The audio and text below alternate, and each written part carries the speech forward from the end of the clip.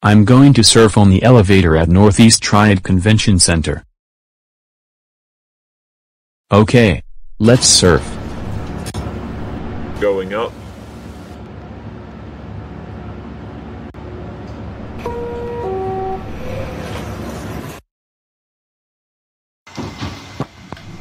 Wow.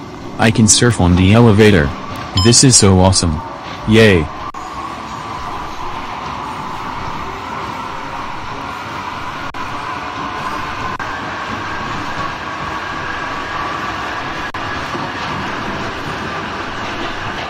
Twenty-fifth floor.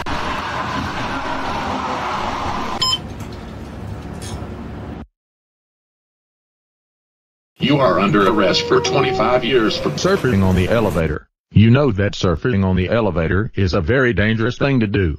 That can get you arrested. Come on. Let's go.